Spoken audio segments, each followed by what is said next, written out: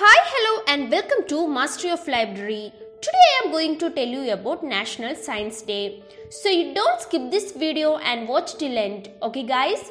So before that, please subscribe my channel and also press the bell icon so you never miss any new updates.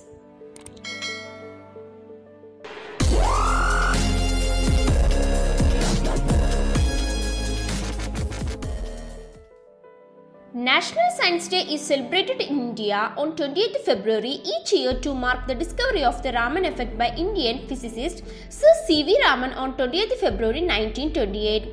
For his discovery, Sir C.V. Raman was awarded the Nobel Prize in Physics in 1930. National Science Day is celebrated to spread a message about the importance of science used in the daily life of the people, to display all the activities, efforts, and achievements in the field of science for human welfare. It is celebrated to discuss all the issues and implement new technologies for the development in the field of science to give an opportunity to the science minded citizens in India and to encourage the people as well as popularize science and technology. The celebration includes public speeches, radio, TV, science movies, science exhibitions based on themes and concepts, debates, quiz competitions, lectures, science model exhibitions, and many more activities.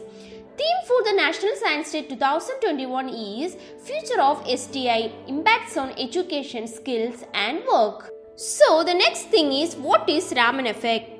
Raman effect is a phenomenon in spectroscopy discovered by the eminent physicist while working in the laboratory of the Indian Association for the Cultivation of Science, Kolkata.